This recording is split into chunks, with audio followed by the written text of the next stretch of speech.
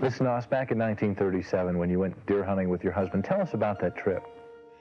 Well, we went deer hunting uh, November the 7th, 1937.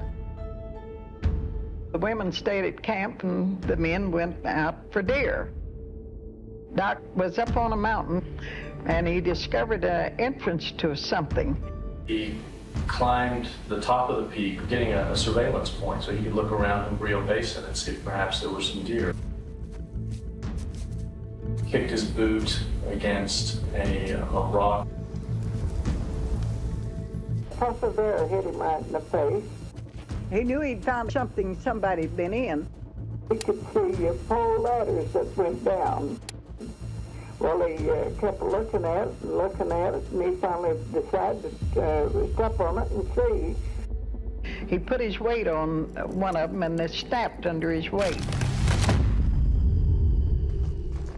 He put it back and covered it up the best he could. Of course, it was later that Ova and Doc went back uh, to verify what they had found on Victorio Peak. his experiences on the ground must have been beyond description. The journey he took in the fissure, pretty scary stuff. Fissure is a, a large crack that uh, bisects the mountain. Massive void that was 20 stories high. 20 stories a long drop. And the fissure back in the day was zigzag walkways of dirt that are wedged in between these two solid walls. It looked like there was a ant farm heading down. There's a few places where you have to get on your back and crawl like a snake, and you're dropping into something on the other side that you have no clue. No protective gear of any kind. Ova Noss is up top waiting for me. Doc should be dead. He didn't know what he'd found at the time. He just uh, knew that when he got to the bottom, he'd know more than he did when he started. Doc described a series of caverns an intricate labyrinth of passageways, some man-made caverns. Some of them are walled up, and he would break the bottom parts of it and shine his light in there. He dropped eight or ten feet on a ledge, and to his north there, there was a hole there that you couldn't see the bottom of. They've always talked about this eight-foot hole, and you would drop something down there, and you'd never hear it hit bottom but after a little while, the smell would come up, like a real bad smell. He said there were skeletons down there. He was tied up to posts. In one case, he saw 79 skeletons inside of this thing. And he said he knew there were how many there were because he would count the skulls. I could imagine the light flickering and the skeleton just being illuminated for that moment. It was totally frightening to him, I'm sure. One skeleton in that room was sort of propped up. It was mummified. It still had some dried flesh on the skull and even a little patch of hair on it. Uh, it frightened him so badly that his hair turned white and he had a white streak from that time on. I'm sure there's a medical description for that condition, but uh, you notice the photographs of him after the fact. He had the, the white streak in his hair. He got him down this path. There was a statue of a man about four, uh, four feet tall, and it standing to guard the treasure. Well, he uh, couldn't believe it. He'd found a treasure storehouse. Boxes of jewelry, coins, everything was old. Conquistador, breastplates, swords. He brought a couple of swords and knives out and um, some coins.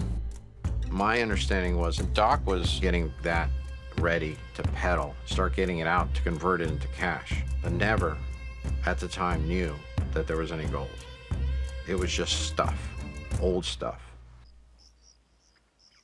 One morning, he uh, told me it must have been a big market for pig iron in the early days. I said, why, why did you say that? And he said, well, I never seen so much. Eventually, Ova said, Can you bring me one of those bars? I want to take a look at it. I said, well, Doc, this is yellow. Look at it. And he rubbed his head and he said, well, babe, if that's gold and all that other is gold like it, we can call John D. Rockefeller a tramp. When Doc went back down there and counted the bars, there were 16,000. 16,000 bars of gold. There was so much that it was beyond description. And he said nobody believed him anyway. So they were well aware of the fact that wealth like this could change people's personalities. But their efforts were actually a continuation of events that probably started 300 years before that. There's a, a big piece of history waiting to be discovered uh, inside Victorio Peak.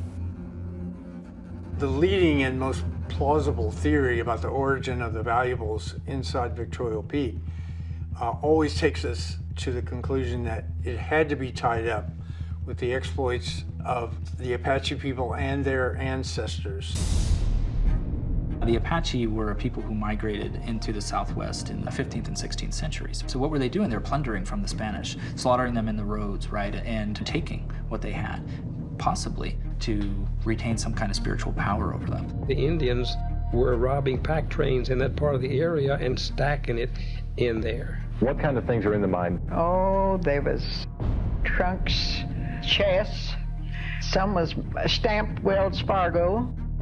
They claimed that it was a uh, result of a robbery of, of some gold that was being transported for, or by them for some mining company. Babe always told the story that there were five distinct types of bars that Doc brought out of the mountain. The reason there were five different types of bars is that the bullion inside the peak came from different sources at different times in history.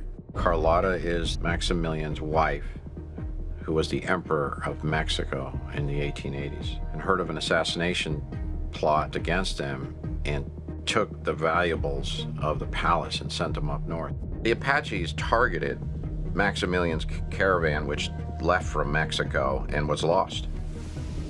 So Doc was convinced that an oval top box that he had found stamped in there said Carlotta. At that point, Doc was pretty convinced that this is from Maximilian, including a seven and a half pound gold crown, which is always thought and believed to be Carlotta's.